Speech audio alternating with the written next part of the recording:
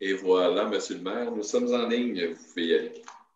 Alors, merci. alors, bonsoir, chers auditeurs, citoyens, citoyennes. Bienvenue à la réunion de la séance ordinaire du Conseil de ville de la ville de Sutton pour euh, le 6 avril 2021. Euh, Avant de procéder à l'ouverture de la réunion, euh, je vais demander à chaque membre participant de bien s'identifier et je vais utiliser le, comme il apparaît à mon écran.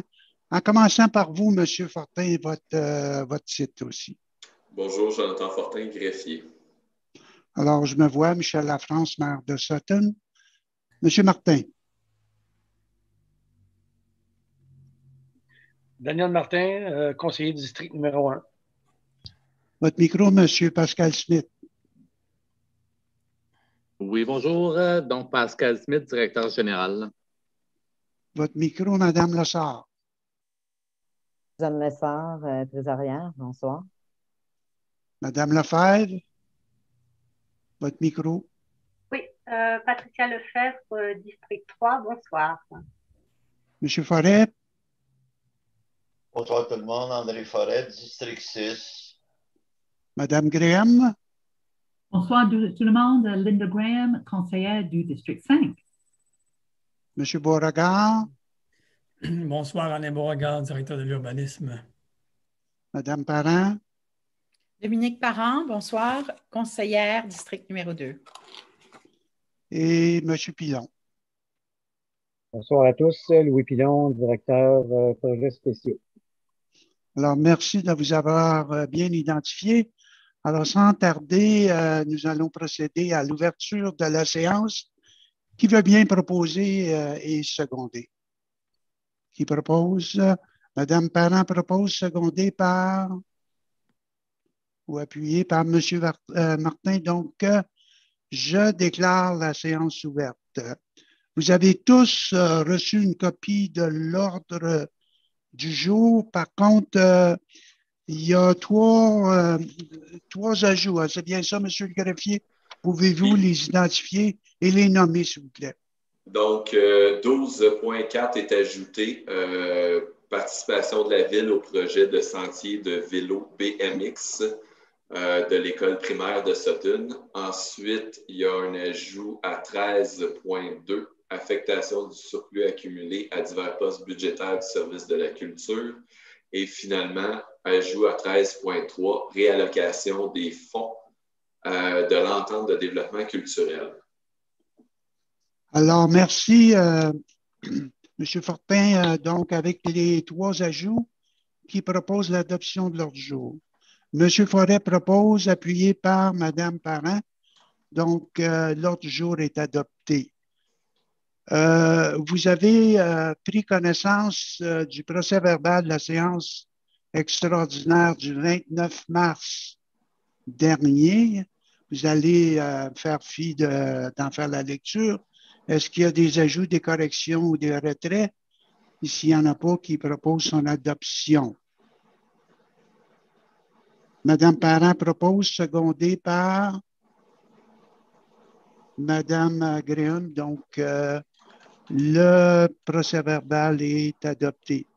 Alors, euh, on va euh, maintenant procéder à des dossiers d'intérêt public, puis après ça, on ira à la période de questions. Alors, j'ai trois, trois sujets d'intérêt public. Le premier concerne euh, évidemment au printemps, c'est le dégel. Et euh, compte tenu qu'on a eu pas mal de précipitations depuis de la, neige, et c'est certain que nos euh, chemins, comme chaque année, en subissent le coup et ça devient boueux. Par contre, je demanderai aux citoyens d'être tolérants. Là, on va avoir une période de belle température et on va pouvoir travailler les chemins, mais comme d'habitude, euh, chaque printemps, euh, euh, même dans certains cas, il y a eu des, cas où des véhicules se sont enlisés, mais on espère, avec la belle température, de pouvoir rétablir nos chaussées à leur état optimal. Donc, on vous demande d'être tolérant.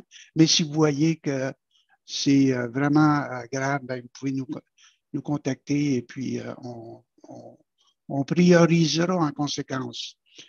Là, évidemment, le dossier John Sleet est, comme on dit en, anglais, ongoing. Et M. Smith, vous avez eu quand même euh, des réunions. Est-ce que vous pouvez nous faire part de l'évolution de ce dossier-là? Où est-ce qu'on est rendu? Oui, bien sûr. Alors, euh, ben, en fait, je vais faire part, oui, de l'évolution, mais de où, euh, où, tout ça a commencé. En date du 18 mars dernier, on a reçu un avis de dénonciation de conditions dangereuses de la, part de l'ingénieur Claude Guertin de la firme Prospect Plus, qui était la firme qui avait été mandatée pour faire une analyse du bâtiment. Donc, on n'a pas reçu son rapport d'analyse entier, mais seulement qu'un avis de, dénonciation de conditions dangereuses. L'avis incluait trois euh, conditions qui nécessitaient euh, une évacuation temporaire du bâtiment. Donc, euh, les trois conditions étaient une possibilité d'amiante dans la vermiculite de l'entretoit, une possibilité de contamination fongique, donc au niveau de la qualité de l'air, et la troisième condition était l'état de détérioration avancée de la cheminée. donc, sur réception de l'avis, on a fait une rencontre d'urgence avec les organismes occupants euh, le centre. Et nous avons décidé euh, sur le champ, d'une décision administrative sur le champ, nous avons évacué le bâtiment, euh, condamné le bâtiment et clôturé le bâtiment, du moins sur la portion où la cheminée pourrait tomber et, blesser quelqu'un. donc, vous comprendrez que avec l'information dont on disposait à ce moment-là, la seule décision raisonnable à, prendre était de condamner le bâtiment. Depuis cette journée-là, on a, euh, ben, en fait, on a pris chacune des conditions et pour pouvoir les éliminer.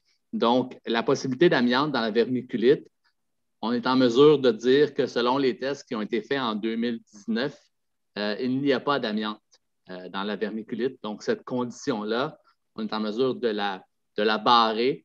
donc, ce n'est pas une problématique. demeure la contamination fongique et euh, l'état de la cheminée. La contamination fongique, on a eu en date du 27 mars dernier, donc jeudi dernier, confirmation des résultats de tests qui ont été pris le jour de l'évaluation du bâtiment. Et euh, il n'y a pas de contamination fongique euh, qui est dangereuse ou qui serait dangereuse pour la, qualité, pour la santé en fait des usagers. Donc, cette condition-là tombe aussi. Il ne reste que l'état de détérioration avancée de la cheminée. Euh, situation qu'on en est présentement à faire des soumissions avec des maçons pour pouvoir démanteler la cheminée et pouvoir éventuellement réintégrer les organismes dans le bâtiment. Euh, jeudi dernier, en date donc, du 27 mars, on a eu une rencontre avec les 10 organismes, donc les 10 et non les 10, euh, les organismes, donc les cinq organismes, organismes, organismes euh, donc, ils ont tous été informés de la situation. Euh, aussi, on s'est engagé à tenir une nouvelle rencontre avec eux dans les deux prochaines semaines pour faire un, état de situation. Donc, tout le monde est tenu informé de la situation euh, et la décision prise par le Conseil est vraiment à l'effet que dès que ces situations-là seront corrigées, les organismes pourront réintégrer le bâtiment.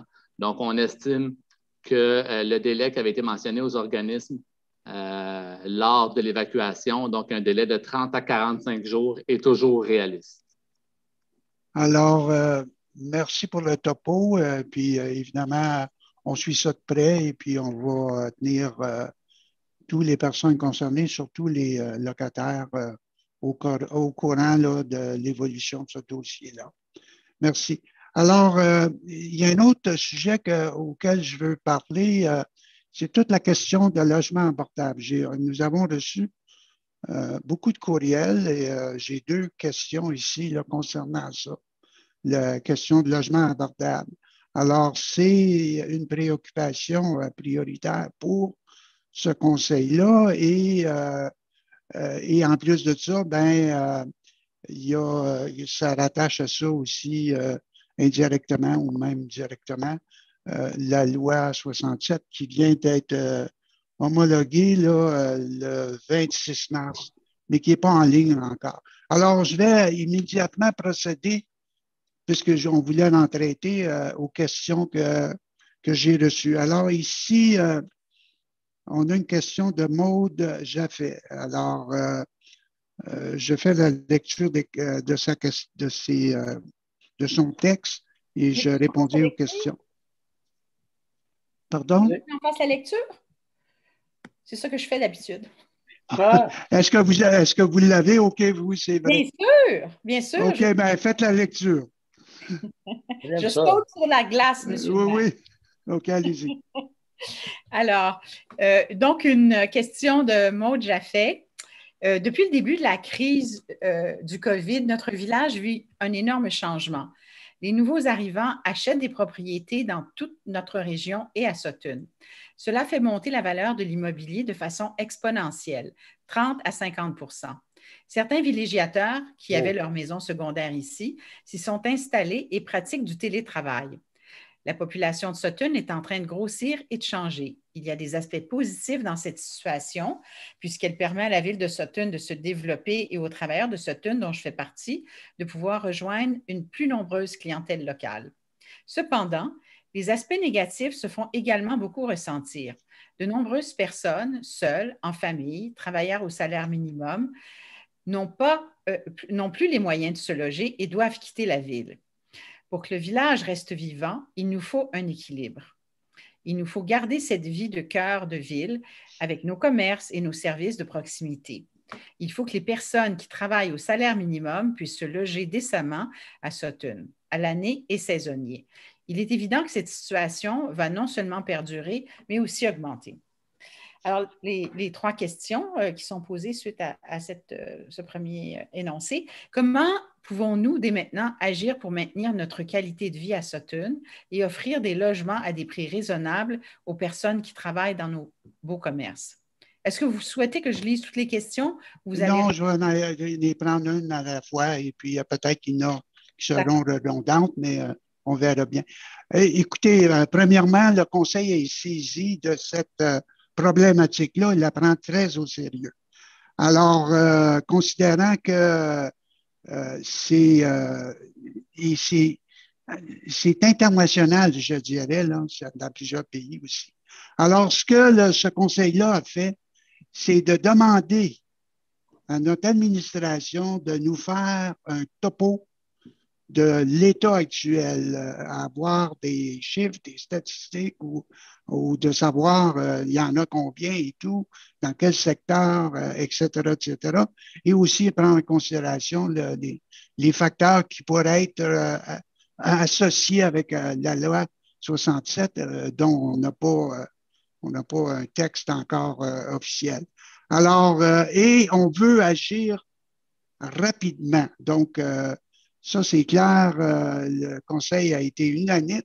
On demande à notre administration de nous donner des pistes de solutions pour qu'on puisse avoir des leviers pour agir et pour être capable au moins de, d'avoir un certain contrôle sur euh, l'escalade des, euh, des prix et selon nos pouvoirs et aussi euh, de favoriser, évidemment, l'âgement abordable parce qu'on veut que les jeunes familles, les aînés euh, restent avec nous, puis euh, qui contribuent à notre société. Donc, je répète, rapidement, on attend des pistes de solutions de la part de notre administration. Vous pouvez aller avec la deuxième aussi. Quelles sont les actions que nous pouvons mettre en place collectivement pour créer l'équilibre? Avez-vous besoin, pardon,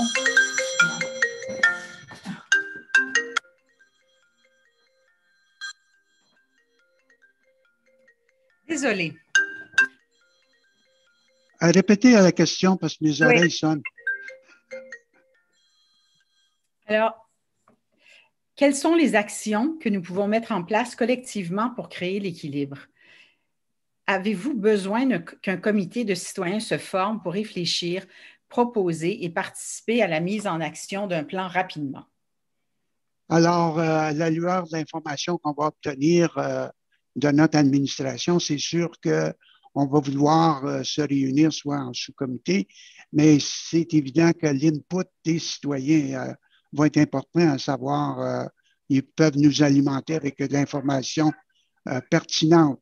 il y a un autre item que j'aimerais ajouter, euh, dans certains cas, puis je ne connais pas tous les, euh, les problèmes là, que nos citoyens et citoyennes vivent, mais ils ont des recours. Euh, si jamais il y a eu des, des, des, investissements, ben, ils ont des recours. Donc, il faudrait aussi que les citoyens puissent utiliser leurs recours pour nous aider s'il y a des recours à, avoir. Donc, euh, voilà.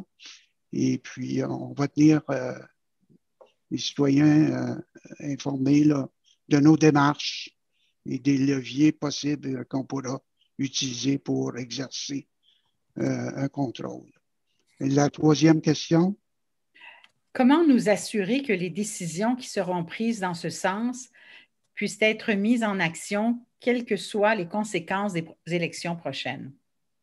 Ben, un conseil, ça parle par euh, résolution. Donc, euh, on verra bien dans le temps euh, quelle sorte de résolution on pourra produire ou déposer ou homologuer. Oui, je vous donne la parole tantôt, Madame Lefebvre. Et puis, c'est sûr que je crois aussi que n'importe quel conseil un conseil responsable, que ce soit un nouveau ou un, ancien, la note euh, va euh, prendre en considération l'importance et l'enjeu primordial de la question de logement abordable. Maintenant, euh, s'il y a des conseillers, conseillères qui veulent l'ajouter, vous voulez ajouter quelque chose, Madame Lefebvre? Votre micro, s'il vous plaît. Oui. Ben, ce, que, ce, que, je voulais ajouter, c'est que c'est une situation qui, s'est aggravée de façon spectaculaire depuis les débuts de la pandémie mais qui existait déjà. Ça fait comme 15 ans, 20 ans qu'on répète qu'il y a un problème. Là, c'est juste que le problème, il est devenu beaucoup plus gros et très, il, a grossi très, très vite.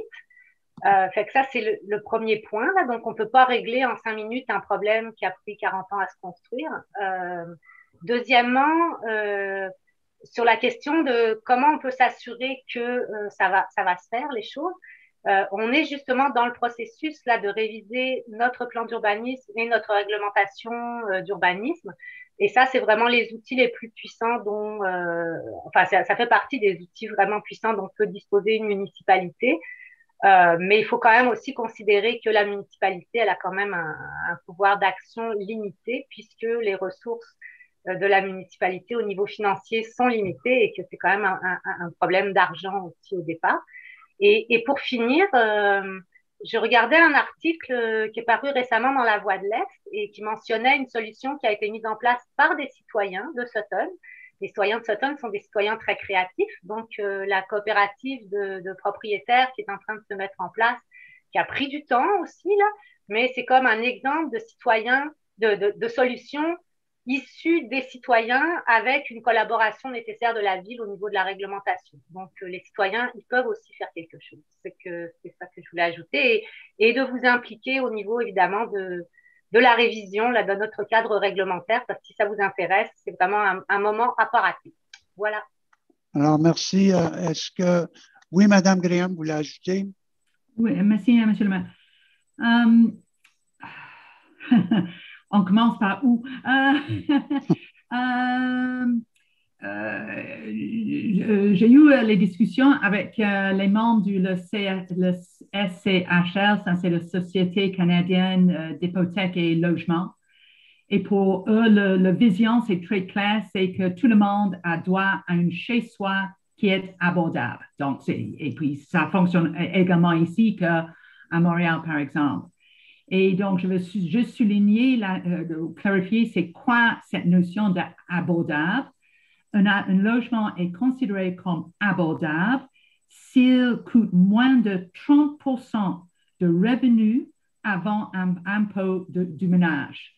Donc, ça veut dire que ça peut varier selon euh, le, contexte, mais je me souviens très bien, euh, peut-être vous aussi, mes collègues, qu'on a eu une présentation de la MSC il y a deux ans qui a mentionné que ce, ce pourcentage est beaucoup plus élevé ici à Sutton. Donc, ça veut dire qu'on a beaucoup plus de monde qui paye plus de 30% du revenu euh, que, toutes les autres municipalités dans, notre MSC. Donc, c'est sûr qu'on a un problème euh, euh, clair. Et, comme, comme, Mme Lefebvre vient de mentionner, c'est vraiment pas quelque chose qui va être réglé d'ici cinq minutes. Donc, ça prend vraiment un plan d'action, court terme, moyen terme, long terme. On a un exemple très clair d'une approche long terme. Ça, c'est le projet des habitations abordables Sutton, les 18 logements qui vont être construits sur le, 139 euh, Sud, qui a commencé pas avec ce conseil, pas avec le conseil précédent, mais le conseil même avant ça. Donc, des fois, ça, vraiment, ça prend la continuité. Et euh, Mme Lefebvre a également euh, mentionné notre révision du plan d'avenir. Et c'est très intéressant de noter que le, le, plan d'avenir actuel fait zéro mention de la notion d'hébergement et surtout pas de euh, le, problème d'habitation abordable ah, excuse-moi, le problème de l'habitation abordable. Et je crois que je peux dire que ce conseil est absolument euh, ensemble pour dire que ça, ça c'est vraiment un défi et, qui va annoncé tel quel dans euh, révision du plan de Venise donc, ça veut dire que ça va, ça va prendre les, euh, solutions.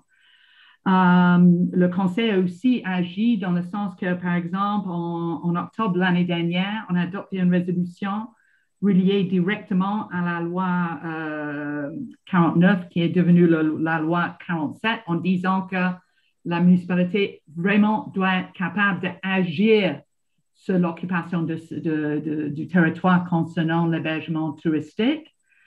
Euh, donc, euh, on est très content de savoir que l'administration va fournir une topo, mais ça, ça prend beaucoup, beaucoup plus d'aliments que la réglementation. Euh, donc, on doit être capable, comme municipalité, comme citoyen, comme collectivité, d'aussi être capable de penser, par exemple, l'utilisation des terrains comme le Filtex, comme solution pour l'habitation, par exemple. Donc, on va être créatif, on doit, on doit travailler ensemble pour vraiment régler ce problème, qui n'est pas un problème qui va être réglé d'ici cinq minutes, même pas d'ici la fin de l'année, mais au moins, on va commencer avec les, les étapes concrètes. Alors, euh, merci. Est-ce qu'il y a d'autres interventions? Il n'y a pas d'autres interventions. Alors, euh, vous pouvez pas procéder à la deuxième euh, question. Oui, cette fois qui nous provient de Anne-Marie Gladu. Qu'avez-vous planifié de faire pour aider toutes les petites familles et tous les locataires qui se retrouveront sans abri dans les mois à venir? Pourriez-vous au moins nous faire part de votre plan pour rassurer de plus en plus de Sautenais inquiets, pour ne pas dire paniqués? Alors, écoutez, on ne va pas répéter ce qu'on vient de dire. Euh, euh, je pense qu'on on répond à cette question-là par euh, la première question. Maintenant, la question de sans-abri. Alors là, euh, comme je dis, là, il y a certains recours, mais euh, c'est sûr que ben, on n'a pas de données. Hein. je ne peux pas répondre à cette question-là parce que je ne connais pas l'ampleur de, en ce moment ici. Peut-être qu'on va l'avoir lorsque l'administration aura fait euh, ses devoirs. À moins que vous avez une piste de solution, Madame Lefebvre.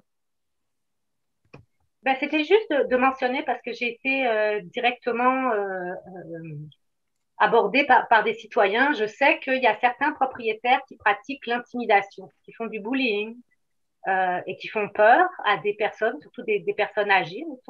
Donc, euh, euh, je pense que c'est vraiment important que les citoyens ils sachent que ça, c'est pas quelque chose d'acceptable, que normalement, il y a des lois pour les protéger et que euh, c'est si eux-mêmes, tout seuls, ils se sentent pas super euh, à l'aise dans une situation d'intimidation, mais je pense qu'il y a assez de personnes dans la communauté aussi là, pour s'entraider et se soutenir. Donc, c'est juste de, je sais bien que le 31 mars est passé, donc euh, le pire est, est, passé pour, euh, pour les locataires, mais c'est juste de ne pas se laisser intimider. Je pense que c'est important de, de, rappeler là, ce n'est pas, pas quelque chose d'acceptable.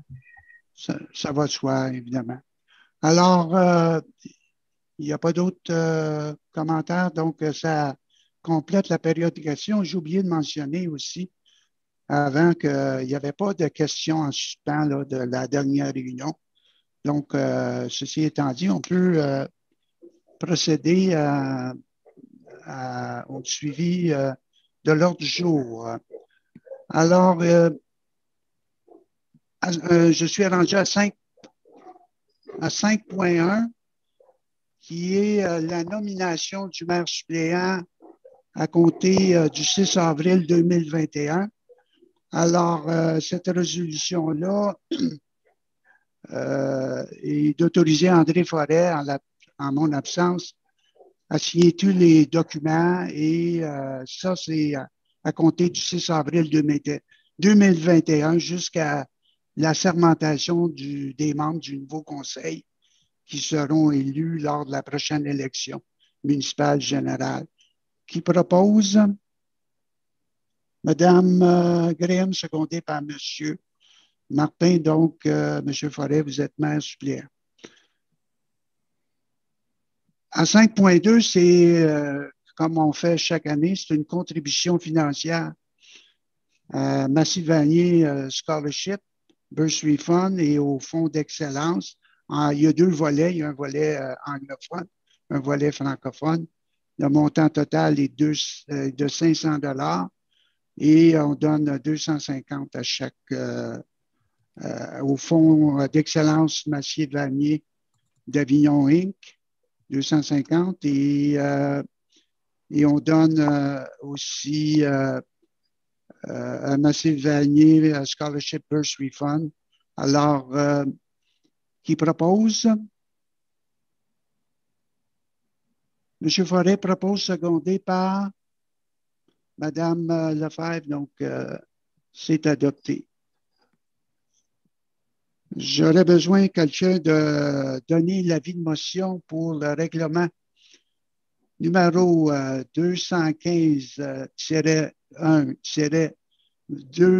euh, intitulé Règlement modifiant, l'article 4 et euh, euh, et l'annexe du règlement numéro 215 relatif aux limites de vitesse permises sur les voies routières de la ville de Sutton. Donc, euh, on doit mettre ça à jour pour modifier certaines définitions par rapport à ce qu'on appelle les chemins ou les, les, différents désignateurs pour des voies sur lesquelles les véhicules peuvent circuler. Aussi mettre à jour le, toute la liste là, des, euh, des vitesses. Là, je ne vais pas rentrer en détail. Donc, euh, c'est une mise à jour qui propose, qui donne euh, l'avis de motion. Vous donnez l'avis de motion, M. Martin. OK.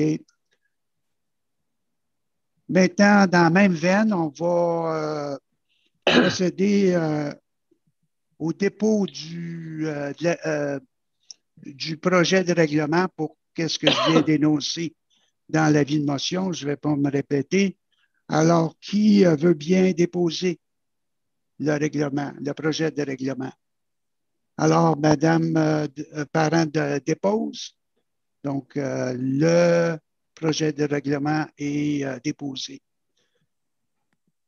À 6.3, c'est un avis de motion et on donne la vie de motion pour le règlement numéro 310, intitulé Règlement décrétant une dépense de 2 613 601 dollars et 35 sous et un emprunt de 2 613 601 35 pour la réfection du chemin scénique entre le chemin Schweitzer et Notch et le remplacement de 17 ponceaux sur les chemins scéniques et Aldebrook. Alors, qui veut bien déposer? Dépose, M. le maire. Donner, pas déposer, donner l'avis de motion. Oui, l'avis de motion. Oui, alors euh, maintenant, on va déposer le projet de règlement que je viens d'énoncer, mais je vais vous donner euh, plus de détails parce que ça a l'air épeurant. 2 millions 613, 601 et 35. Alors, euh, c'est, euh, on donne, on dépose le, le projet de règlement, mais il y a un financement, en fin de compte, qui est rattaché à ça. Et Madame Graham, vous êtes euh, au fin pointe des finances. Alors, euh, faites-nous part euh, de la partie qui, est moins menaçante. Heureusement, ce n'est pas moi qui est le, le fan point de finance, c'est Madame Lezin, notre trésorière. Heureusement, pas moi. Cependant, il y a quelques points à, à- soulever. Donc, on a prévu dans notre PTI pour cette année le réflexion du, du mais sous condition de la réception d'une subvention. Donc, on est, très content d'avoir reçu justement cette subvention et encore plus dans un sens qu'on a prévu. Euh, alors, euh, pour la réflexion du Sénèque, donc ça veut vraiment le travail sur le chemin, on a reçu grosso modo un demi-million. Et en plus, on a reçu un autre, grosso modo, million. Et ça, c'est pour le travail, le travail pour le remplacement du ponceau sur euh, mais également sur, Alderbrook. Donc, le projet hôtel est plus grand que prévu. Euh, cependant, le travail, donc, donc, on est très content parce que c'est vraiment nécessaire. Et on est évidemment euh, vraiment euh, heureuse d'avoir reçu ce niveau de subvention. Et puis, euh, on, va avoir euh, à la fin de la séance le dépôt de les, les lettres que nous avons reçues confirmant, euh, qui, qui confirment la réception de, ces subventions.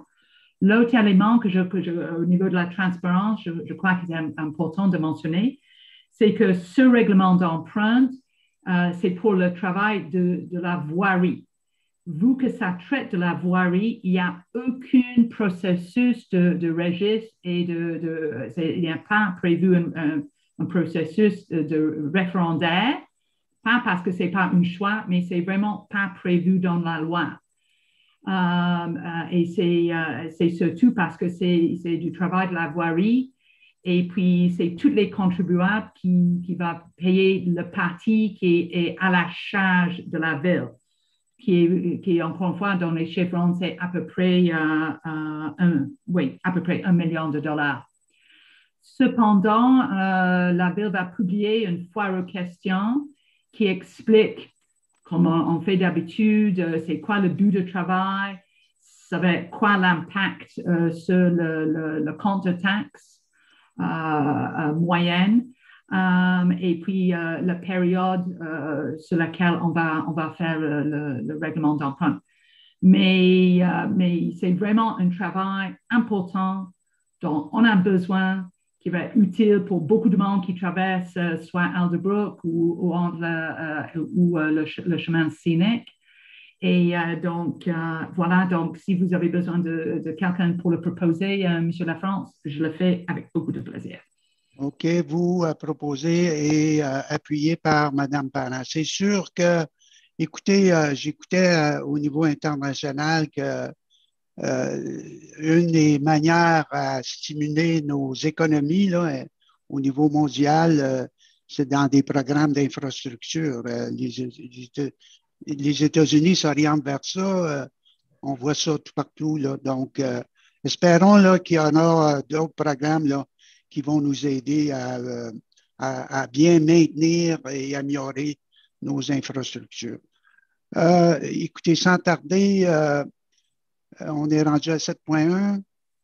Euh, donc, c'est un dépôt de rapport des paiements effectués, incluant les bordereaux de paix. Vous en avez pris connaissance? Est-ce que vous avez des questions? Non, c'est un dépôt. Euh, dans la même veine, euh, vous avez aussi à 7.2 euh, pris connaissance du dépôt des rapports des dépenses autorisées pour la période du 1er mars 2021 au 31 euh, euh, mars 2021. Est-ce que vous avez des questions? Non, donc euh, c'est un dépôt.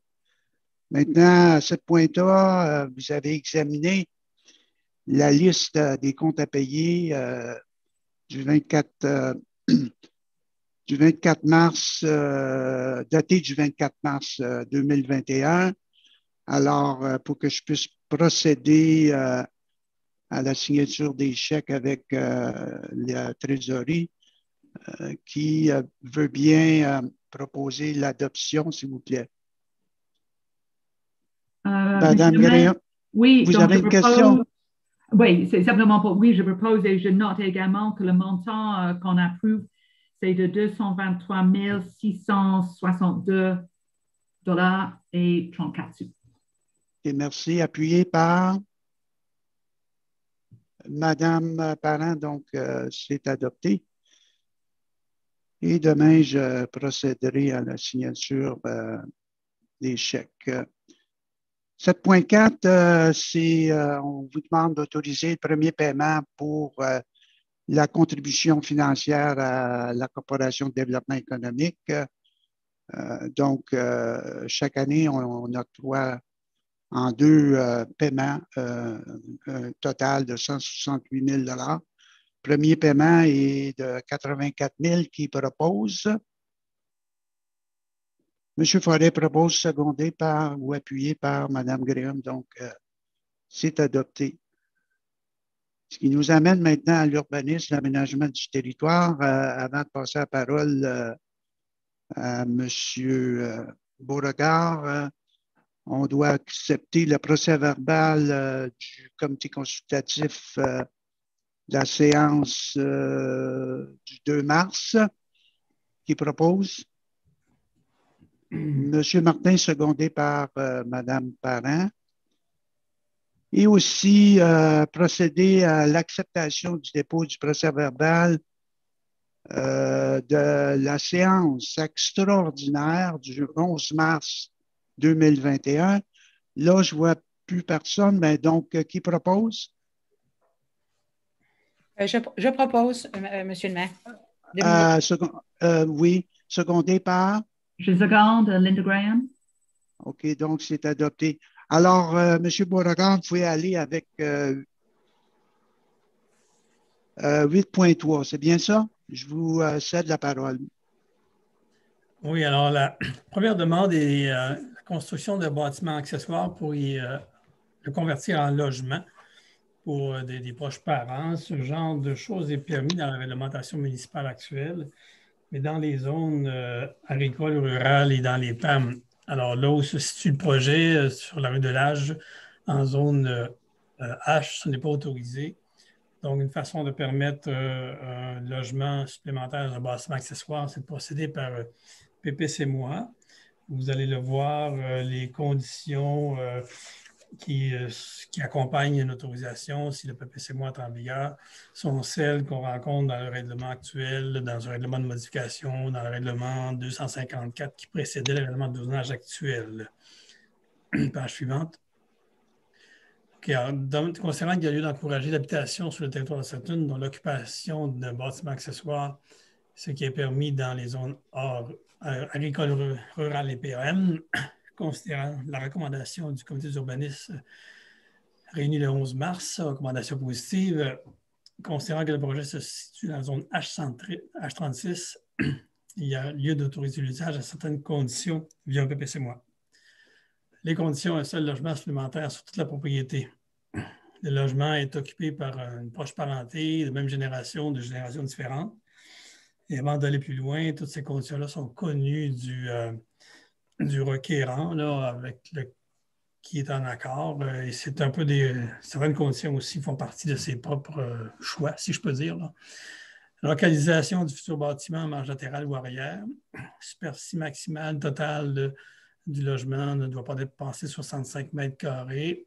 Une superficie additionnelle de 15 mètres carrés est autorisée à des fins d'usage accessoire au bâtiment principal. La superficie accessoire au logement est inclus dans ces 15 mètres carrés.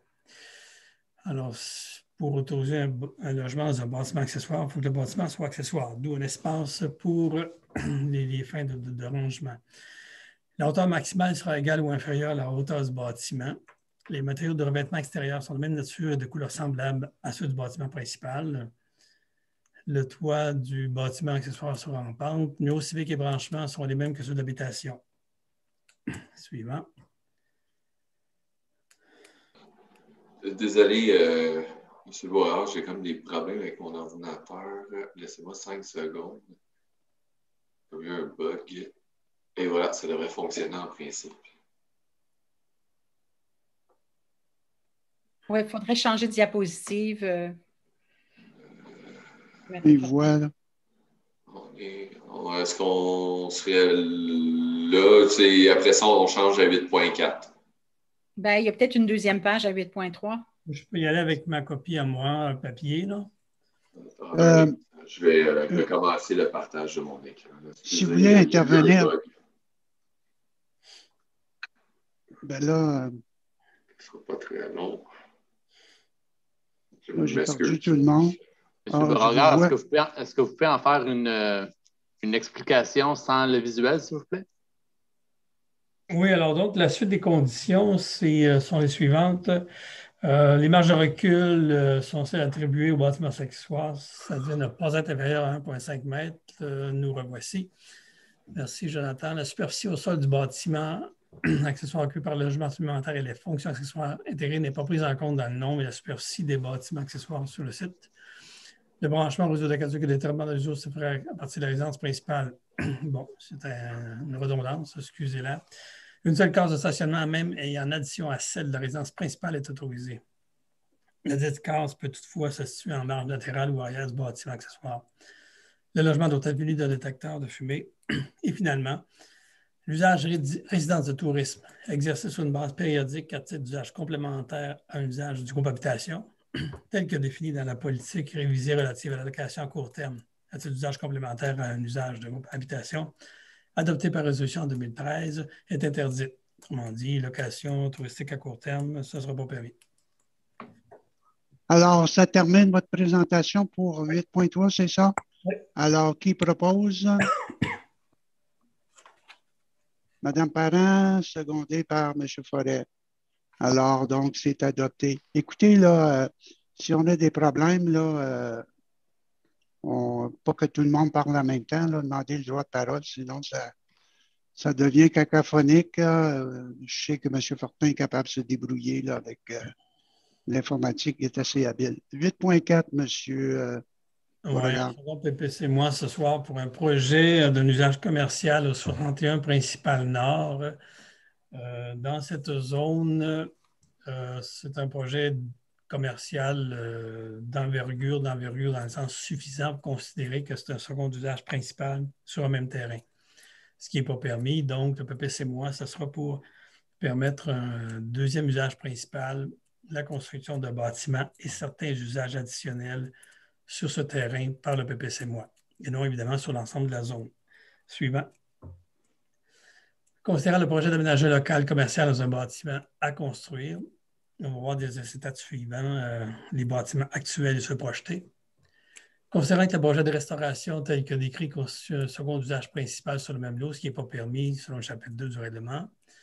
Considérant que le projet requiert les usages C104, projet de, vente d'alcool euh, euh, d'importation, et C501, repas consommation sur place, qui sont pas autorisés dans la zone, Considérant que le projet se veut ciblé et complémentaire aux usages existants sur le territoire, semblables, considérant que la construction de bâtiments complémentaires est requis pour l'aménagement du commerce, considérant que le bâtiment accessoire actuel existant devrait être démoli pour faire place aux nouveaux bâtiments et au stationnement, considérant la recommandation positive du comité d'urbanisme réuni le 11 mars, considérant qu'il y a lieu d'autoriser un PPSMO à certaines conditions.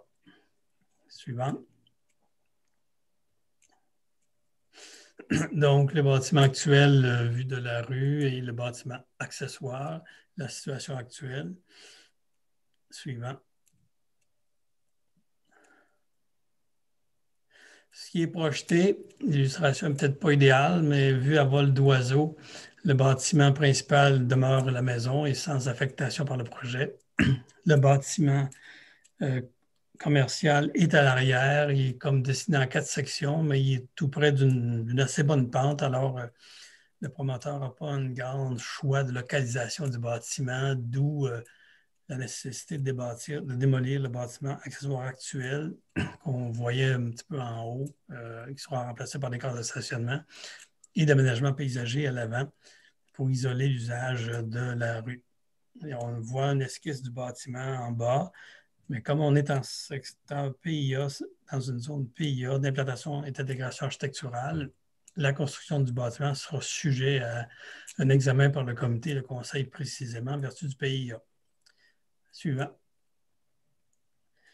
Alors, donc, il est recommandé d'approuver en vertu du règlement PPC-MOI euh, la demande de PPC-MOI ayant pour but d'autoriser un usage principal commercial sur le lot 662, d'autoriser la construction d'un bâtiment complémentaire sur le même lot afin d'y aménager un second usage principal, soit un bâtiment complémentaire de 100 mètres carrés, une implantation incluant l'aménagement paysager, le tout comme prévu au plan de local design réalisé le 18 janvier 2021.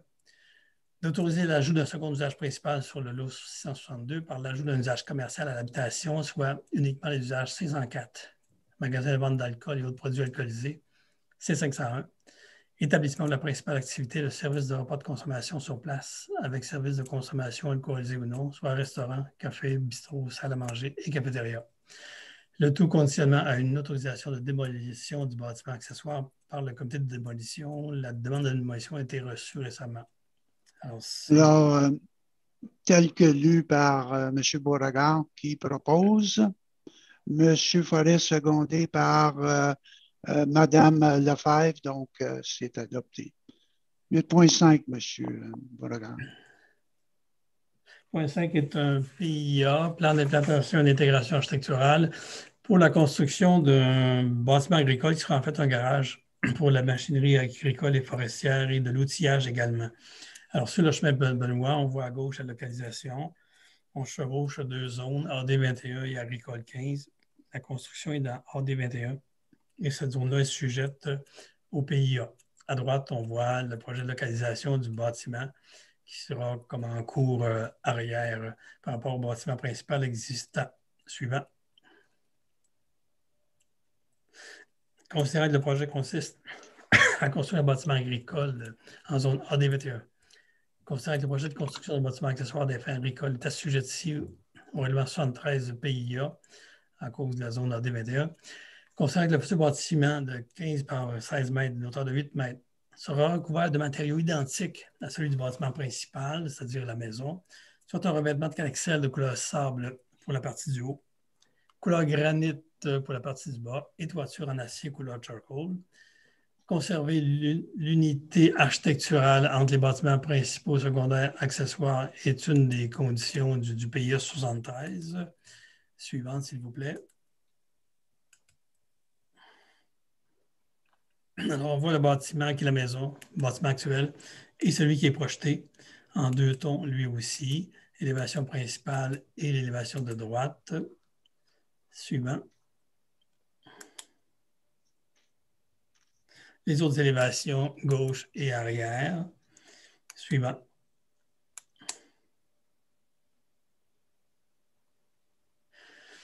Alors donc, euh, on se rapproche de la recommandation. En fait, les considérants, ce sont tous des euh, textes issus du PIA. Alors, ce n'est pas, pas, inventé, c'est qu'on reprend des considérants qui sont satisfaits par le projet. Considérant que les caractéristiques architecturales l'intervention projetée favorisent l'utilisation de matériaux de qualité sur toutes les façades du bâtiment, Considérant l'architecture des bâtiments principaux, secondaires et accessoires doit être conçue de manière à s'intégrer harmonieusement à l'environnement naturel du site visé, s'inspirer des tendances architecturales de développement durable en montagne. Considérant les couleurs des bâtiments principaux doivent être choisies de manière à s'intégrer harmonieusement à l'environnement naturel du site. Considérant les pentes de toit et les masses millimétriques du bâtiment s'insèrent harmonieusement en forme du paysage environnant. Suivant.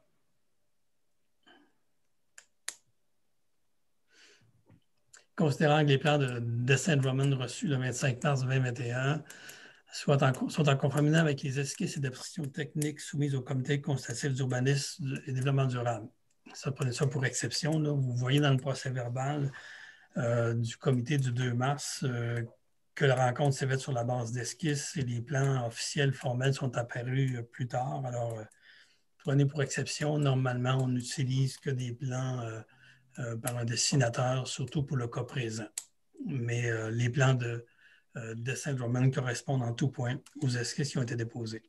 Considérant la recommandation positive du comité d'urbanisme réuni le 2 mars 2021, d'approuver la présente demande d'implantation architecturale du chemin Benoît, telle que figurée au projet d'implantation de Daniel Géna, porteur géomètre, et de dessin Roman, les feuillets 1 à 6, datés du 24 mars 2021, euh, en conformité aux articles 44.1 et 44.2 pour l'architecture, 45.1 et 45.2 pour le bâtiment accessoire du règlement 73.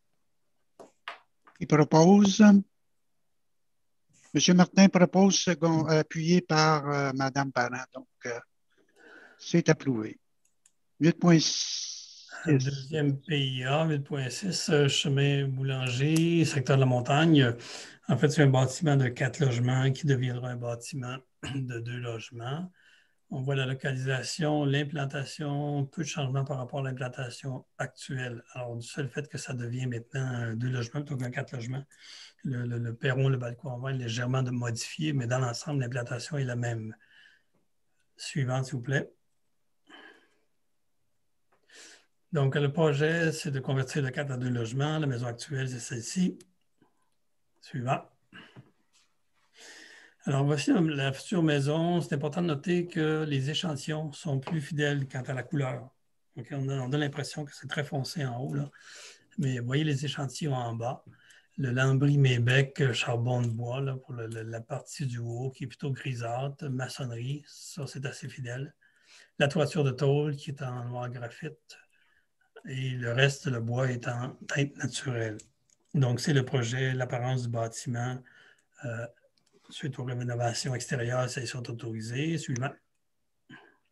Alors, euh, voilà, on revoit la, façade avant maintenant. Euh, avec les mêmes matériaux, bois, mébec, toiture d'acier, maçonnerie, suivant. Les autres façades du bâtiment, suite à la, aux rénovations, suivant. Alors, pour euh, l'insertion ou les comparables en PIA, on regarde toujours ce qui se passe avec le voisinage immédiat pour mieux évaluer l'insertion. Alors, euh, le voisin de droite, qui est un bâtiment semblable, le voisin de droite, mais un peu plus loin. Et puis, on monte euh, dans la montagne, sur le chemin boulanger, puis on voit des maisons qui, s'y apparentent quant à la, volumétrie et aux couleurs particulièrement. suivant, s'il vous plaît. Alors, voisin de gauche, voisin d'en face, on ne peut pas faire de comparaison sur le terrain vacant à cause de la courbe. Suivant. Alors, plus on monte dans la montagne, plus on voit des bâtiments dans une certaine mesure qui euh, s'y apparentent également. Suivant. Considérant que le projet de construction euh, est assujetti au, au règlement 73 PIA, Considérant les caractéristiques architecturales, de l'intervention projetée favorise l'utilisation de matériaux de qualité sur toutes les façades du bâtiment. Considérant le parti architectural, l'intervention projetée est influencée par le relief du terrain et ne laisse aucun minimum de façon apparente. Considérant l'implant de toit et les masses volumétriques du bâtiment s'insèrent harmonieusement au fond du paysage. Considérant que le revêtement de la toiture est de couleur sobre, on l'a vu tantôt, non foncé, mais plus, plus sobre, plus pâle, et que sa couleur s'intègre au, au revêtement et mixture extérieure de l'environnement immédiat. Suivant. Considérant que les couleurs d'accent sont utilisées avec finesse et modération de façon à limiter les contrastes et leur impact visuel sur l'environnement naturel, considérant que les revêtements de bois fibre, de bois pierre naturel ou de culture sont utilisés comme principal matériau de finition, considérant la recommandation positive du comité réuni le 2 mars, il est recommandé d'approuver l'implantation et l'intégration architecturale en conformité avec les objectifs des critères contenus aux articles 44.1 et 44.2 du règlement 73 PIA, tel que figuré au plan d'Alexandre Saint-Pierre daté de février 2021. Alors, qui euh, propose? Madame Parent propose, euh, qui appuie? Madame Graham appuie, donc euh, c'est approuvé. 8.7. Un dernier PIA pour un bâtiment sur le chemin Priest, on va faire un comparable parce que récemment, euh, un bâtiment a été autorisé quant au PIA euh, et le propriétaire a fait des changements assez importants important dans le sens de, l'apparence du bâtiment. C'est pour ça qu'on revient en PIA et on va vous montrer les, comparables sur chemin Priest, à, euh, à suivante, s'il vous plaît. Alors, donc, la nature, c'est d'autoriser un bâtiment à, 110, principal à, 110 mètres de la ligne avant. Avec les changements, euh, une dérogation mineure à 116 mètres avait été autorisée. Mais là, maintenant, avec les changements du bâtiment, la dérogation est moins importante. Pour 6 mètres, on ne refaisait pas une euh, démarche de dérogation euh, mineure. Ça va être éventuellement corrigé au moment du certificat de localisation à cette date suivante, s'il vous plaît. alors, on voit à gauche la demande précédemment autorisée. À droite, vue à vol d'oiseau, on en voit un petit peu mieux l'impact. Euh, merci. Euh, le garage qui était à l'arrière est maintenant à l'avant, entre autres. Et la fenestration est généralement moins importante pour le nouveau projet. Mais tout le reste, couleur et matériaux, est inchangé. Suivant. Donc, en haut, ce qui a déjà été autorisé. En bas, ce qui est soumis aujourd'hui. On voit le garage qui est à l'arrière. À gauche, maintenant, il est proposé plus à l'avant, à droite. Suivant. À gauche, euh, euh, les mêmes matériaux, les mêmes couleurs, mais des dispositions euh, différentes, avec de la fenestration moins importante, puis une cheminée en préfabriqué plutôt qu'une genre de, cheminée, de, artisanale, entre guillemets. Suivant.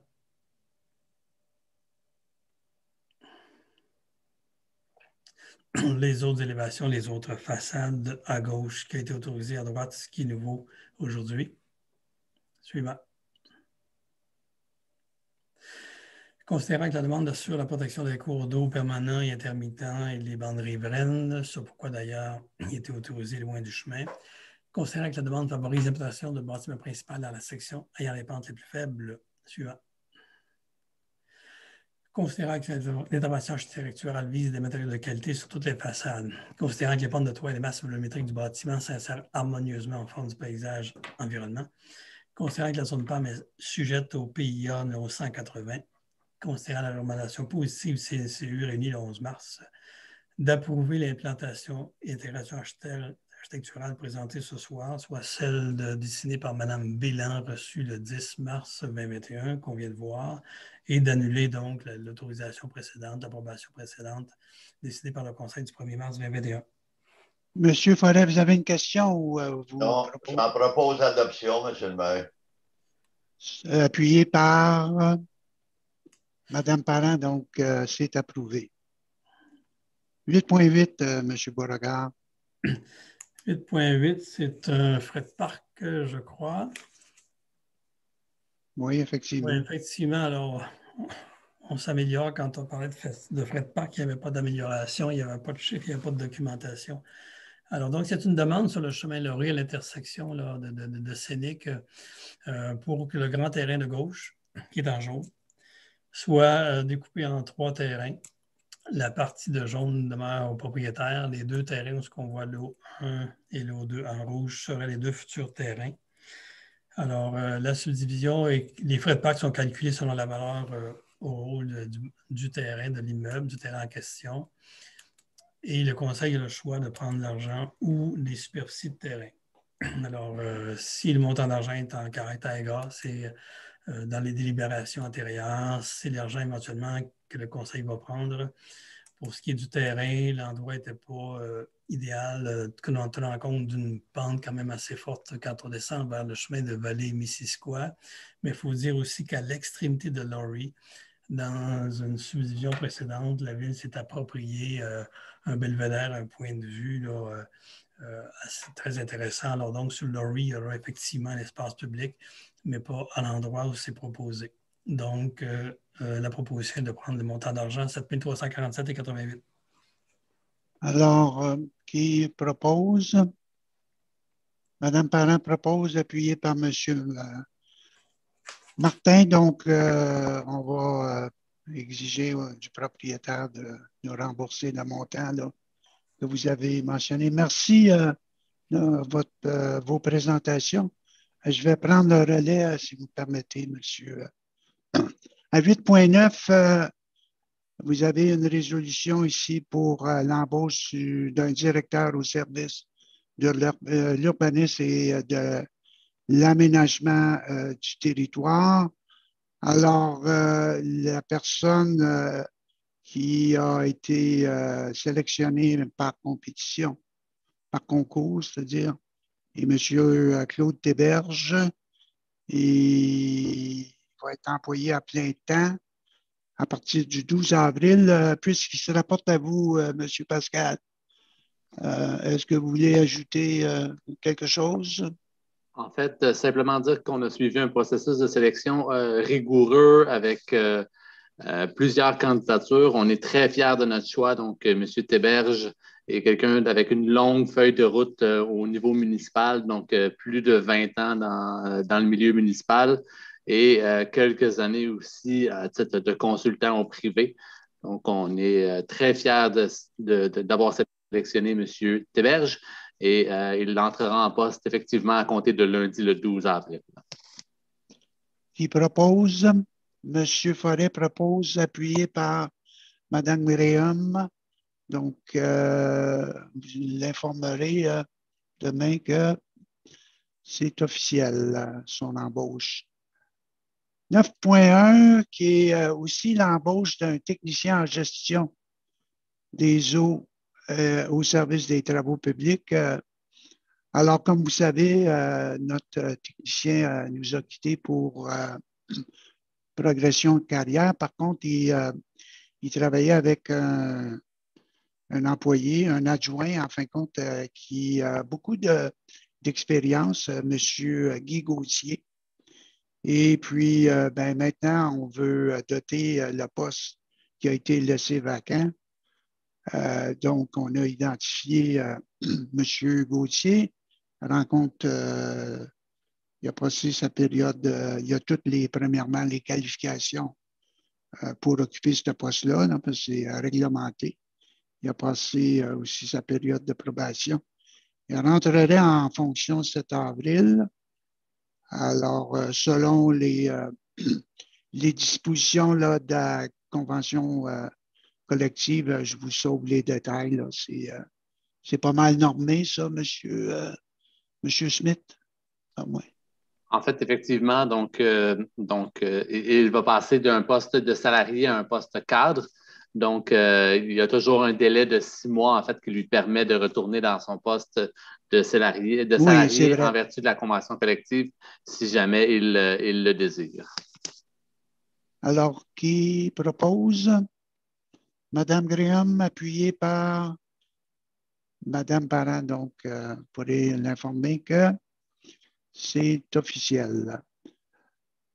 À 9.2, on veut aussi euh, euh, embaucher deux journaliers qualifiés temporaires au service des travaux publics pour la saison, estivale. Alors, euh, les personnes sont Marc Messi et Charles Roy euh, qui rencontrent toutes les exigences, qui ont l'expérience, etc., etc. Et la période euh, estivale, ben, est d'environ six mois, du 26 avril au 22 octobre. Alors, la période de six mois qui, qui propose M. Martin, second, appuyé par, qui appuie? Appuyé par Mme Parent. Donc, euh, on va confirmer ça avec euh, les euh, individus concernés. 9.3, c'est confirmation de M. Uldéric Roy au poste de journalier qualifié pour les services des travaux publics. Alors, je vous sauve euh, tous les détails. Euh, c'est pas mal euh, selon les conventions collectives. Il rencontre toutes les, obligations du poste. Il a passé sa période de probation qui s'est terminée le 6 avril, soit 130 jours. Et puis, est-ce qu'il a le droit de retourner dans son poste antérieur, euh, dans ce cas ici, euh, M. Pascal? Non. Hein? Donc, euh, ici, c'est une confirmation d'emploi. OK. Donc, qui propose? Monsieur Forêt, appuyé par Mme Gréa. Alors, il est maintenant titulaire de ce poste-là. 9.4, c'est l'attribution d'un contrat de gré à gré pour la Coupe des espaces gazonnés pour l'année 2021. On a reçu deux soumissions et les entreprises Cher Corp incorporées au montant de 22 500 et deuxième soumissionnaire était Eaton, Eaton au Donald pour 28 000, au montant de 28 000. Donc, c'est sûr qu'on va au plus beau soumissionnaire, donc, qui est les entreprises Shercop, qui proposent. M. Martin, appuyé par Mme Graham. Donc, c'est adopté. ce qui nous amène maintenant à, 11.1, qui est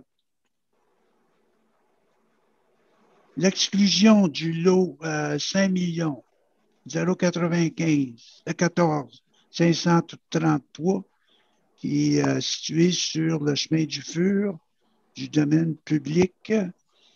Et c'est une autorisation de signature d'un acte de vente de ce lot-là que je viens de mentionner en faveur du propriétaire du, du lot adjacent.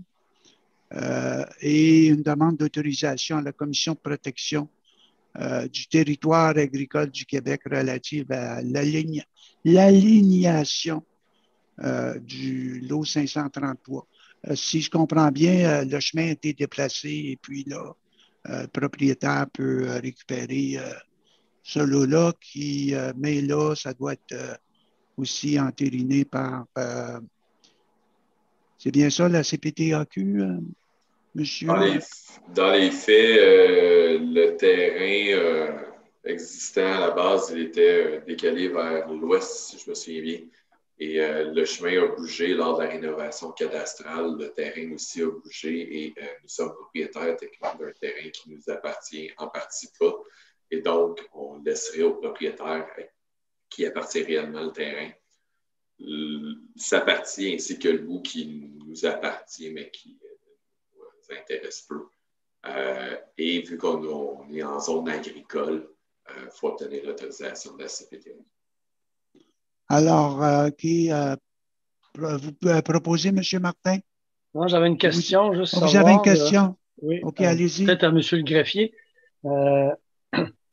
qui va définir le prix de vente? Est-ce qu'il y a un prix de vente ou c'est un, c'est et donc, il, ben, il y a une partie qui ne nous appartient pas, là, donc ce bout-là. Mais l'autre partie, c'est euh, basé sur la valeur euh, de l'évaluation municipale, donc euh, qui, qui, est une, selon ce qu'on, nos calculs, là, qui semble être la bonne valeur du terrain. OK. Ça vous va, M. Martin, ça répond? Oui, j'en propose l'adoption. Appuyé par. Ah, il y avait peut-être une question avant. Excusez, il y a une autre personne. ben là, tu as proposé. Ah, OK, c'est parce que je voyais Mme Parent, c'est correct, j'ai pas de problème. appuyé par Mme Madame Parent? C'est mon district. Voyez mon enthousiasme. Euh, compte tenu que vous avez si bien expliqué 11.1, vous allez expliquer 11.2, M. Jonathan, vous allez me sauver. Euh, euh, dans le cas, c'est l'exclusion, un peu dans la même lignée, c'est l'exclusion du lot 5 345 250 qui est sur le chemin Pinacle S. Donc, euh, de l'extérieur du domaine public, d'autoriser la signature d'un acte de vente en faveur du propriétaire voisin et, euh, comme il est en zone agricole, de demander l'autorisation à la CPTRQ. dans ce cas-là, il s'agit d'une lisière qui est enclavée, si on veut, entre la municipalité, euh, le territoire de Abercorn et euh, le terrain voisin. On parle d'une lisière d'à peu près 6 euh, mètres de large, 6 à 10 mètres de large sur une longueur pleine. Et c'est un terrain qui, pour les mêmes raisons un peu que l'autre, que la ville n'a pas à, à posséder, qui n'est pas utilisé par la ville, qui s'adonne à être un ancien chemin public qui mène nulle part aujourd'hui. Donc, et le propriétaire voisin, lui, a une lisière d'environ 6 mètres. donc, il va pouvoir avoir une lisière d'une largeur plus standard avec environ 15-20 mètres dans ces eaux. Puis il a toujours fait l'entretien sur ce terrain-là, n'est-ce pas? Il a fait l'entretien euh, sur ce terrain-là depuis quand même longtemps. Oui. Alors, qui euh, propose? J'ai besoin. Euh, Madame Graham propose, appuyé par M. Forêt. Donc, c'est adopté.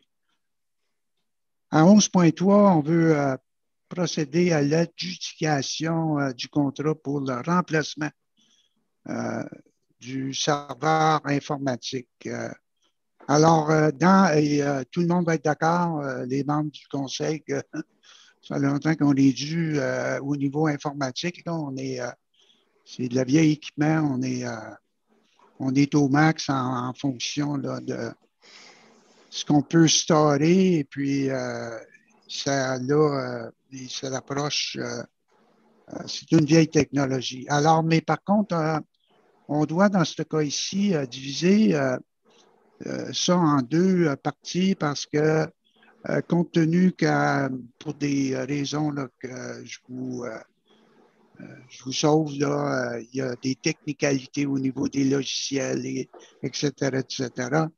Alors, on a reçu deux soumissions, une de Kesber associé incorporé et PG Solutions incorporés euh, et puis euh, on, les deux doivent travailler ensemble pour euh, s'assurer là, que l'intégration se fait bien. parce que c'est bien beau de l'avoir le hardware, mais le software est important. Alors, les montants ici impliqués, de mémoire, allez-y Madame Le c'est quoi les montants? Est-ce que vous les aviez? Hein? Si vous permettez, Monsieur le maire, euh, vu que c'est dans, la catégorie que j'ai les chiffres devant moi, on parle d'environ 30 500 pour euh, et euh, PG Solutions 1 705 Alors, euh, qui propose? Monsieur Forêt propose, appuyé par Monsieur Martin, donc, euh, c'est adopté. À 12.1, maintenant, c'est euh, l'embauche euh, des animateurs pour le camp de jour pour la saison estivale 2021. Alors, la saison, en fin de compte, c'est pour la période du 28 juin au 20 août 2021 il y a six jours de planification pour euh, partir le bal et c'est euh, d'autoriser les euh, personnes suivantes à être employées selon des taux horaires déjà préétablis qui varient entre 15,50 à 14,80. Je vous sauve les détails. Les employés qu'on veut embaucher ont de l'expérience. Euh, ils sont Marilou Giguère, Mackenzie Goyette, Naomi Tartif et Hunter Westover. Alors, euh, qui propose? Madame Parent propose appuyé par euh, Madame Lefebvre. Dans la même veine, c'est l'embauche du personnel aquatique chaque année. alors, la saison ici, euh, c'est euh, pour la période du 19 euh, juin au 22 août. Il y a de la formation 10 heures. Alors, c'est tous des gens qualifiés qui ont de l'expérience pertinente. taux, je vous sauve les détails des taux, mais ça peut ça varie de euh, j'ai perdu mon image ici, là, euh, des participants. Là. OK, voilà. Alors, euh, les personnes concernées sont qu'on doit embaucher, c'est Benjamin Charles, Sarah Girard, Emma Mayou, Rebecca Thomas, Camilla Vigneault et Sabrina Tivol. Alors, euh, la fourchette des salaires, c'est entre 19,90 et 14,30. Qui propose? M. Martin propose secondé par, euh, appuyé par Mme Parent. À 12.3, c'est pour autoriser le passage pour le tournoi Roche et plaisir du club cycliste vélo 2000, euh, 4 euh, septembre. Alors, euh, il y a des conditions qu'ils respectent. En fin de compte, ils doivent nous dire au courant s'il y a des changements. Ils vont passer aussi des droits de passage. On leur donne des droits de passage sur les chemins suivants, Draper, Boivin et Jackson. S'il y a des changements, ils doivent nous informer. Ils doivent informer aussi la ville du lac Brome, le village de, de Brome, euh, les services ambulanciers euh, euh, et tout. prendre des mesures, évidemment, les mesures sanitaires, respecter les mesures sanitaires. donc, on approuve ça chaque année, ce genre de, de demande-là. Qui propose? Madame Graham, appuyée par Madame Parent, donc euh, adopté. 13.1, c'est euh, pour procéder à l'enquête pour des objets Monsieur, de Monsieur le maire, nous sommes à Ah oui, oui, oui, oui. À 12.4. Allez-y, alors vous avez les détails. Est-ce que, en fin de compte, c'était. il s'agit euh, de la participation de la ville, exactement, au projet de sentier de vélo BMX, en bon anglais, Pump Track. Euh, que l'école primaire de Sutton veut réaliser.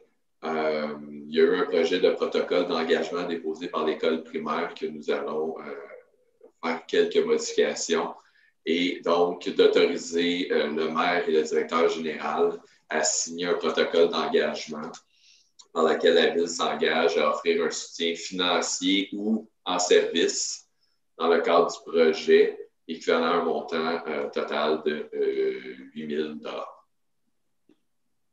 Qui propose? Madame Graham propose, appuyé par Madame Lefebvre. Donc, euh, ah, c'est adopté.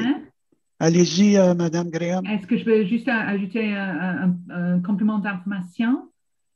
Allez-y, oui. Oui, c'est simplement pour expliquer à nos citoyens que l'école a reçu euh, une, subvention gouvernementale pour encourager la pratique d'activités physiques euh, chez les élèves. Et puis, euh, l'école planifie de débourser la somme entière de cette mesure qui est de 18 000 dollars afin de créer une infrastructure de qualité pour les élèves, mais important, mais aussi pour notre communauté. Donc, cette, cette, cette, sentier de vélo BMX euh, va être aussi accessible à la population en dehors des, des, heures de classe. Donc, euh, on trouve que c'est vraiment un projet avec beaucoup d'intérêt pour, euh, pour, pour, les familles avec les jeunes enfants et qui va être à la fois très utile, très, très apprécié par, par les élèves de l'école parce que l'école, l'année dernière, a utilisé cette, même genre de, subvention pour acheter des vélos BMX. Donc, ils ont le vélo. Maintenant, il faut avoir le sentier pour, pour, faire la pratique euh, du vélo. Donc, euh, donc euh, c'est, super comme projet qui, à la fois, va être apprécié par, par l'école et mais également à la, communauté un peu plus large notre, de notre collectivité. Alors, merci beaucoup, Mme Graham, pour l'information supplémentaire. je ne me rappelle pas, est-ce qu'on a a proposé appuyer. Bon, c'est bien. Euh, qui nous amène à 13.1, qui est l'encan. Euh, comme vous savez, euh, on procède à la liquidation d'items surplus aux besoins du musée. Et dans ce cas ici, la chargée de projet est Karine Béfortin. Là, et il y a 258 lots d'objets qui ont été identifiés euh, dont on peut disposer euh, et euh, on veut autoriser la vente de tous les objets restants sous forme d'encan ou vente de garage et de déléguer l'agent de développement culturel le pouvoir de signer des promesses et des ententes de dons et de vente concernant les œuvres et de gérer le processus d'alignation et euh, de signer tous les, euh, les documents qui, euh, qui s'y rattachent et finalement de disposer des revenus par la résolution qui a été adoptée le 3 février 2020. Qui propose, s'il vous plaît? Proposant. M. Forêt propose, appuyé par euh, Mme Parent. Donc, euh, on va procéder. 13.2 euh, qui est l'affectation surplus culture. Donnez-nous les détails, M. Fortin. Donc, c'est l'affectation du surplus accumulé à divers postes budgétaires du service de la culture, considérant que le budget a été adopté par le considérant le budget adopté par le Conseil en décembre 2020. Euh, considérant l'absence lors du processus d'adoption du budget euh, de l'Agence au développement culturel, euh, considérant qu'un montant total de 4 715 doit être ajouté à certains postes budgétaires du service de la culture, donc d'affecter un montant total de 4 715 surplus cumulés non affectés au poste budgétaire suivant et réparti de la manière suivante. Et là, il y a différents Qui euh, propose? Monsieur Martin propose, appuyé par. Appuyeur, s'il vous plaît. Par Madame Parent. Donc, euh, c'est adopté. Et maintenant, 13.3, qui est une réallocation de fonds culturels. Allez-y avec les détails. Donc, la Ville a signé une entente financière avec le ministère de la Culture euh, pour les années 2017 à 2019, entente qui a été bonifiée et prolongée jusqu'en décembre 2021. Euh, les sommes doivent être dépensées en 2021, puis aucune prolongation n'est possible. Euh, considérant que le projet d'aménagement culturel du noyau villageois faisait partie de cette entente-là, euh, considérant que le patrimoine, l'architecture, les paysages sont des éléments culturels et euh, que le service de la culture et le service de l'urbanisme collaborent sur ces enjeux et leur évolution. Euh, considérant que le plan d'implantation et d'intégration architecturale du noyau villageois, donc le PIA, pour ce qui est du noyau villageois, est en vigueur depuis environ 15 ans et que la révision est quand même souhaitable parallèlement au plan d'urbanisme en cours. Euh, considérant les rapprochements au sein de la population, euh, est souhaitable pour faire émerger un climat propice au dialogue et la médiation, et que la médiation culturelle est une approche euh, qui serait bénéfique d'initier un projet pour documenter et faire connaître, entre autres, l'histoire du centre communautaire et culturel John Sleet, en faisant participer les citoyens, d'autres ceux qui sont allés à l'école qui est euh, l'ancienne école du centre communautaire. Donc, euh, d'allouer les sommes résiduelles euh, de l'entente de développement culturel aux actions suivantes. Donc, il y a un 3 150 plus taxes pour l'analyse des mesures actuelles de protection du patrimoine bâti. il y a un 12 500 pour la conception de fiches conseils à l'intention de divers intervenants, dont le CCU, des promoteurs, des propriétaires, etc. Euh, concernant la transformation de maisons anciennes, entre autres. Euh, un mandat confié à Héritage Sutton pour un projet qui s'appelle Mémoire Sutton Academy euh, pour un montant de 9 700 et contribution à des projets de médiation culturelle qui est à divers projets pour un montant de environ 10 000 alors, euh, vous n'avez rien ajouté, Madame Lessard? Là? Il, a, il, a, pas mal fait une bonne job. L'explication? J'ai rien à dire. Merci, M. le maire. OK, donc c'est complet. Alors, euh, qui euh, propose? Proposant, s'il vous plaît. Madame Parent propose d'appuyer par. Appuyeur, s'il vous plaît. Madame Grimm, donc. C'est adopté. Euh, merci, euh, M. Fortin, de nous avoir euh, navigué au travers de ces ajouts de dernière minute. 14.1, c'est l'adjudication du contrat pour l'achat d'une laveuse à pression. Alors, service d'incendie sorti en soumission. Il y a deux soumissionnaires multipression LC incorporés montant 10 844 et 16, et LP Expert 2013 incorporé au montant de 10 643 et 51 sous. Donc, euh, c'est évident qu'on va aller avec euh, plus bas soumissionnaire, qui est LP Expert 2013 Inc., qui propose. Monsieur Martin, appuyé par ma, Madame Graham. 14.2, c'est pour euh, l'adjudication du contrat pour la fourniture, l'installation de balises de repérage pour des euh, numéros d'immeubles. Alors, on avait débuté cette démarche-là, euh, ça fait-tu deux ans ou un an, je ne me rappelle plus. Et on est sorti en soumission, donc il y a deux soumissionnaires. signalisation Lévis Inc. au montant de 57 000 501-40 et signalisation. Qualitech, incorporé 38 710 et 20.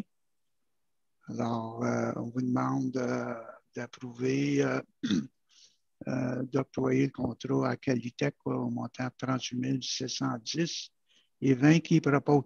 Et c'est évident que ces balises-là, ben, c'est nécessaire là, pour s'assurer qu'une réponse positive des services d'intervention et euh, euh, euh, soit ambulanciers, soit services d'incendie ou même les livreurs, parce que de plus en plus, hein, on, dépend des achats en ligne, j'espère québécois aussi. Vous voulez ajouter, vous proposez, Mme Graham, ou vous voulez ajouter? Mais je, vais ajouter, et puis par la suite, je vais, je vais, je vais proposer. J'ajoute également euh, euh, les, les, premiers, non, premiers répondants. Euh, oui. vu que j'ai été premier répondant depuis six ans, je, peux dire que vraiment, c'est vraiment très difficile des fois de, de trouver c'est où se trouve un, un tel et tel résidence. donc, on a, fait la première partie du projet qui était vraiment dans, à l'extérieur du périmètre urbain donc vraiment dans le, les quartiers ruraux. Maintenant, on a vu que c'est, on a toujours besoin, c'est dans les secteurs à la montagne, par exemple. Donc ici, on va ajouter 886 bornes euh, sur le, territoire. Et encore une fois, en souci de transparence, euh, c'est les propriétaires des, des résidences qui vont recevoir une facture exactement comme était le cas la première fois qu'on a fait l'exercice. Madame Lassin, est-ce que vous avez euh, une idée du montant du approximatif du, du facture pour chaque résidence? Non. franchement, Madame Graham, je n'ai pas, pas fait la division encore. Oui. Alors... Euh, mais euh, oui, donc c'est vraiment, euh, c'est vraiment, ça vaut la peine dans, dans tous les sens. Donc, je propose la, résolution, Monsieur le maire. Merci pour l'information additionnelle proposée par Mme Graham et appuyée par M. Martin. Donc, c'est adopté. À 14.3, c'est pour accepter la démission ou le départ de bénévoles au sein des services des premiers euh, répondants, évidemment, ont démissionné. Alors, le départ se situe auprès de M. John Galley, M. Patrick Champagne, M. Alex Cournoyer, M. Robin Simpson, à titre de premier répondant. Évidemment, on, va les remercier. Et puis, euh, euh, donc, qui propose? Madame Graham propose, appuyé par Madame, euh, euh, Madame Parent. Euh, dans la même veine aussi, mais à l'inverse, euh, on veut procéder maintenant à l'embauche d'un bénévole pour le service euh, des premiers répondants. Et dans ce cas ici, la ben, c'est une, une, bénévole, je crois, Megan Alain, qui a réussi sa formation de PR3. Alors, qui propose. Madame Graham, appuyez par. Appuyez, s'il vous plaît. Madame Parent, donc euh, c'est adopté. À 16, euh, bon, c'est le dépôt, là, vous l'aviez mentionné, euh, Madame Graham, là, dépôt d'une lettre du ministre des Transports daté du 24 février 2021. Alors, est-ce que vous, avez une copie devant vous? Là? Vous voulez euh, identifier euh, le montant? Madame Graham? Je vous passe la balle. Euh, oui, non, c'est juste parce que c'est vraiment, je sais que je ne suis pas le meilleur dans le monde avec les chiffres pour les prononcer, mais donc c'est 595 833 et ça, c'est pour la réflexion du chemin scénique. Et l'autre, c'est euh, pour, le, euh, pour la réflexion des ponceaux sur différentes routes, mais c'est surtout, mais c'est Alderbrook et, euh, et. Et ça, c'est pour un montant de 985 000 et 900 dollars. C'est correct? Oui, OK. Euh, et, juste en passant, je vais noter que euh, si je me souviens bien, on a fait cette demande il y a presque trois ans, je pense. Donc, on, peut voir jusqu'à quel point ça prend beaucoup de temps pour, pour, pour avoir les, les, subventions. Euh, donc, mais on est très content quand même. OK, merci. Madame Lessard, euh, c'est dans la norme, là, euh, ce genre de. Euh, Madame Graham parle de trois ans. On est dans, dans le ballpark, comme on dit en anglais, là.